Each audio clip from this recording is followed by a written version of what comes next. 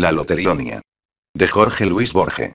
Como todos los hombres de Babilonia, he sido procónsul. Como todos, esclavo. También he conocido la omnipotencia, el oprobio, las cárceles. Mi- miren. A mi mano derecha le falta el índice. Miren. Por este desgarrón de la capa se ve en mi estómago un tatuaje bermejo. Es el segundo símbolo, Bet. Esta letra, en las noches de luna llena, me confiere poder sobre los hombres cuya marca es Gimel, pero me subordina a los de Aleph, que en las noches sin luna deben obediencia a los de Gimel. En el crepúsculo del alba, en un sótano, he yugulado ante una piedra negra toros sagrados. Durante un año de la luna, he sido declarado invisible. Gritaba y no me respondían, robaba el pan y no me decapitaban. He conocido lo que ignoran los griegos. La incertidumbre. En una cámara de bronce, ante el pañuelo silencioso del estrangulador, la esperanza me ha sido fiel. En el río de los deleites, el pánico. Heráclides Póntico refiere con admiración que Pitágoras recordaba haber sido Pirro y antes Euforbo y antes algún otro mortal. Para recordar vicisitudes análogas yo no preciso recurrir a la muerte ni aun a la impostura. Debo esa variedad casi atroz a una institución que otras repúblicas ignoran o que obra en ellas de modo imperfecto y secreto. La lotería. No he indagado su historia. Sé que los magos no logran ponerse de acuerdo. Sé de sus poderosos propósitos lo que puede saber de la luna el hombre no versado en astrología. Soy de un país vertiginoso donde la lotería es parte principal de la realidad. Hasta el día de hoy, he pensado tan poco en ella como en la conducta de los dioses indescifrables o de mi corazón. Ahora, lejos de Babilonia y de sus queridas costumbres, pienso con algún asombro en la lotería y en las conjeturas blasfemas que en el crepúsculo murmuran los hombres velados. Mi padre refería que antiguamente cuestión de siglos, de años, la lotería en Babilonia era un juego de carácter plebeyo. Refería, ignoro si con verdad, que los barberos despachaban por monedas de cobre rectángulos de hueso o de pergamino adornados de símbolos.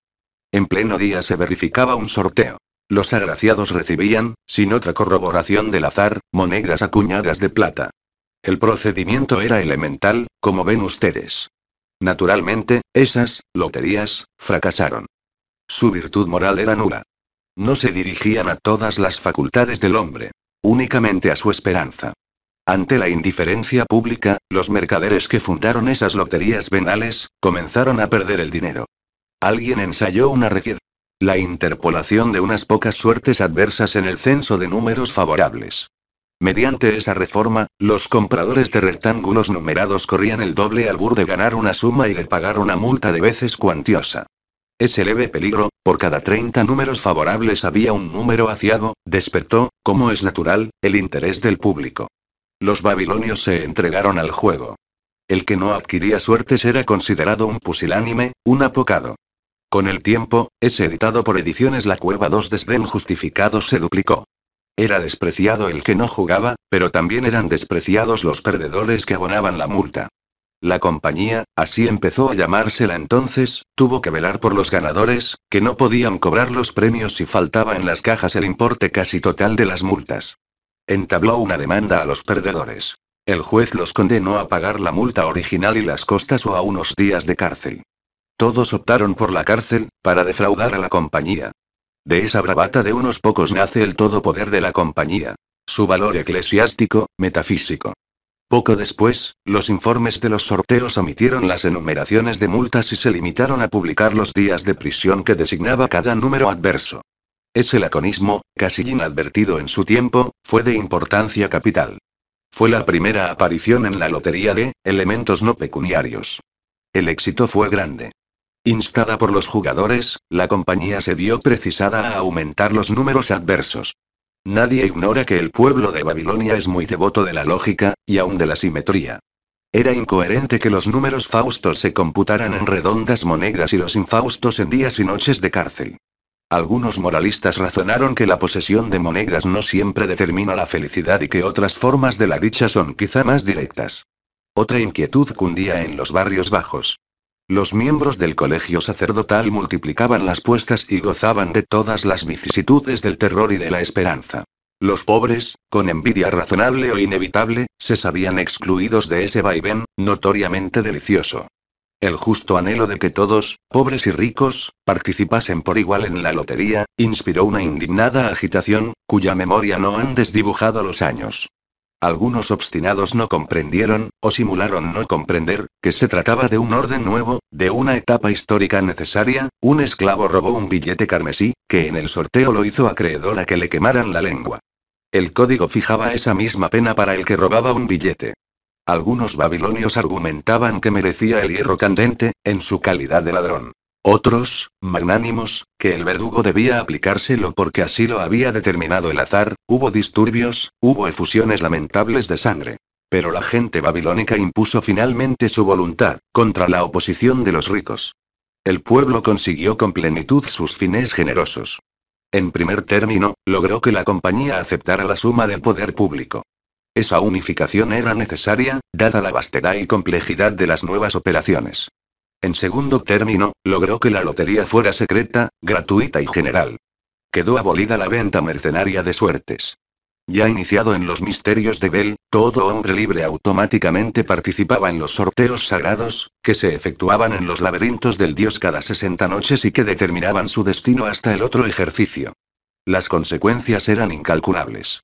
Una jugada feliz podía motivar su elevación al concilio de magos o la prisión de un enemigo, notorio o íntimo, o el encontrar, en la pacífica tiniebla del cuarto, la mujer que empieza a inquietarnos o que no esperábamos rever.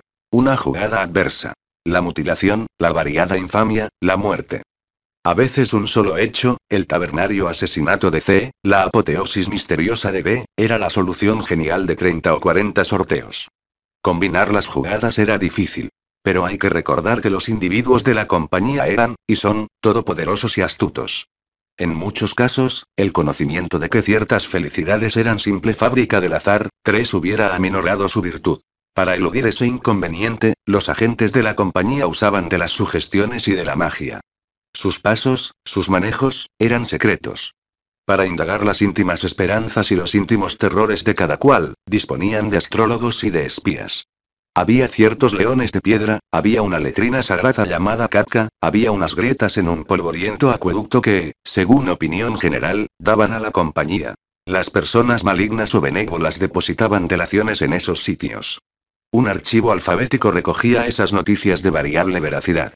Increíblemente, no faltaron murmuraciones. La compañía, con su discreción habitual, no replicó directamente. Prefirió borrajear en los escombros de una fábrica de caretas un argumento breve, que ahora figura en las escrituras sagradas.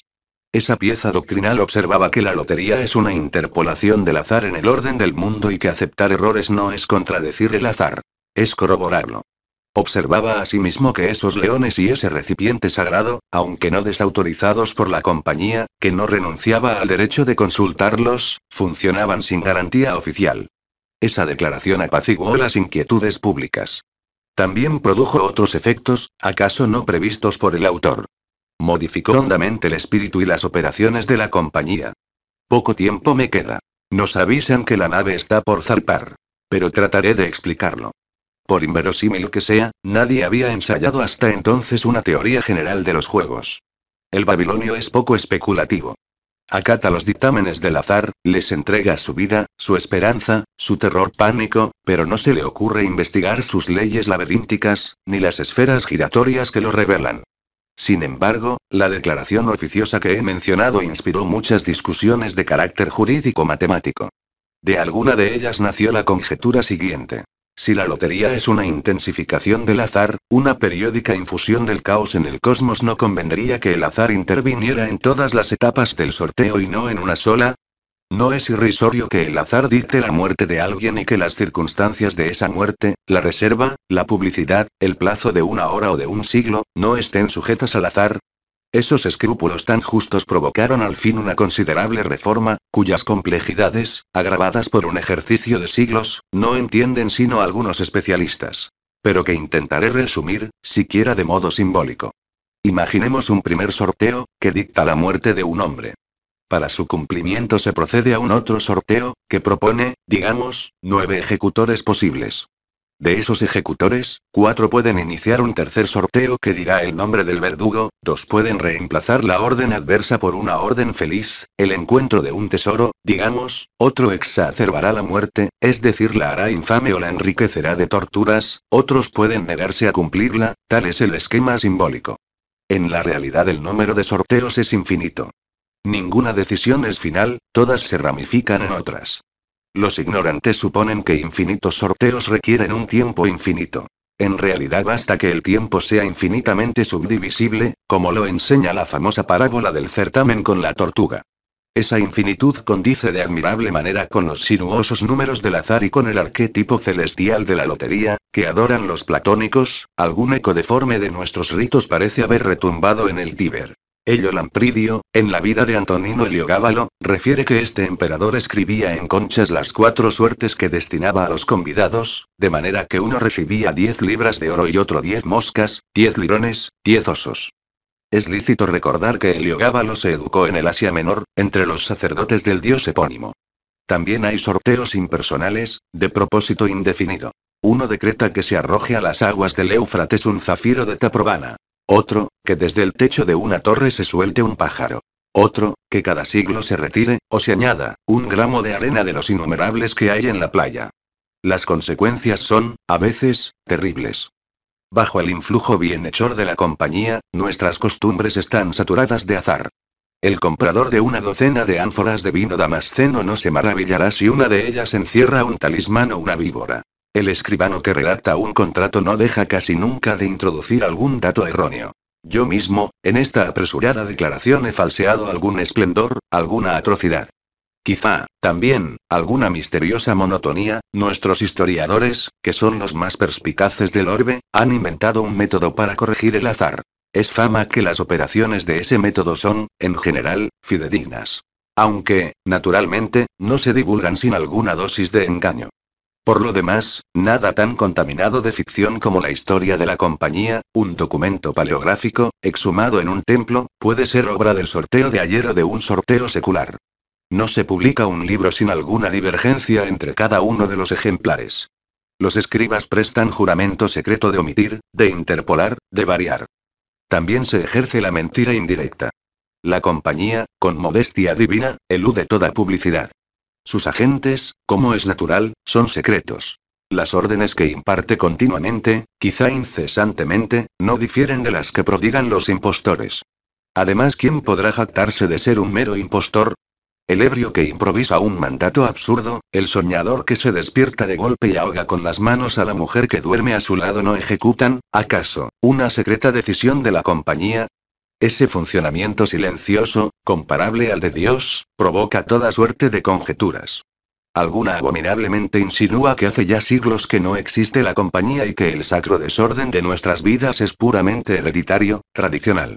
Otra la juzga eterna y enseña que perdurará hasta la última noche, cuando el último Dios anonade el mundo.